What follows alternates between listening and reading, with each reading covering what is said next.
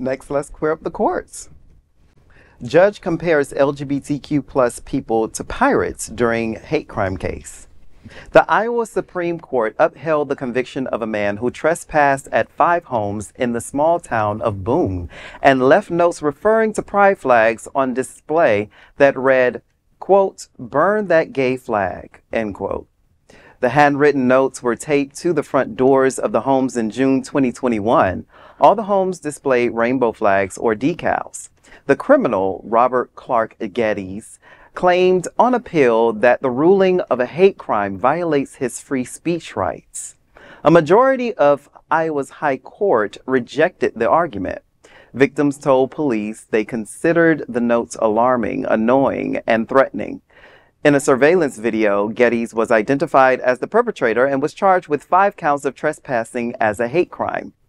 However, while declaring the ruling, Justice Matthew McDermott wrote that there was no evidence in the record that indicated the targets of Geddes' notes were members of the LGBTQ plus community. Whether Geddes believed they were, nor if any of them, any of the residents had an association with an actual person in those protected classes, he said, quote, as a symbol, a flag doesn't independently create or express actual association with particular persons. Not everyone who displays a pirate flag is associated with the with actual pirates. End quote.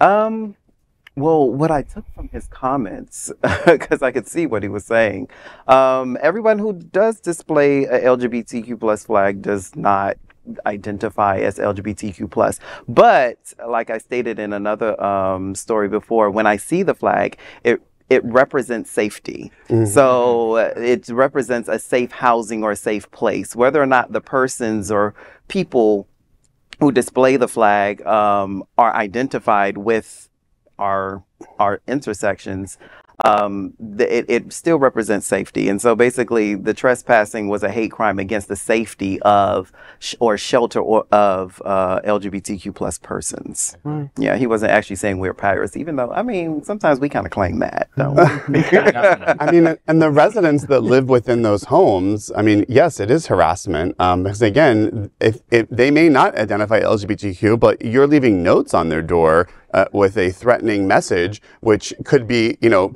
aimed at them and, and have more violence, as we, you know, come to see many stories following this. So I just think that, I mean, it's very small-minded by the judge, but not surprising. Well, you know, there are some people in Iowa who continue to do everything in their power to live up to the state's accurate acronym idiots out wandering around. ow. Oh, Sorry, oh. Iowa. Damn. That, that's pretty powerful. But uh, to go back to your point, Jeff, I, I think it's uh, if you have a flag, uh, in Jamal's point too, if you have a flag, you typically are accepting, you're open.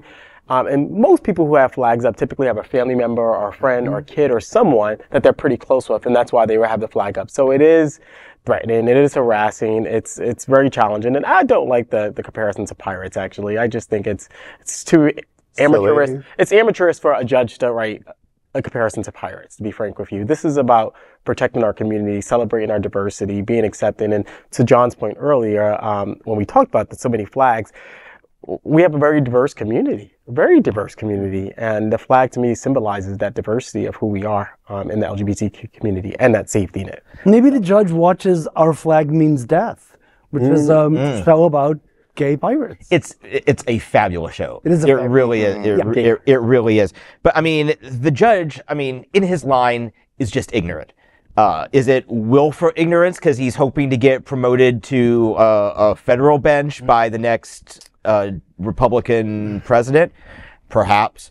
Who knows? But the fact is, if people are displaying the pride flag, be it in a sticker on their window or from a flagpole or on the back of their car, they are aligned with us. People don't put up you know, flags to spite other people. You know, Miami Dolphin fans aren't putting up the Jets flag on their pole on Sundays to go, we'll show you. no, they don't. Proud Boys are not showing up with pride flags or stickers on their pickup trucks at their meetings out in what I can only imagine is a rural part of the Everglades.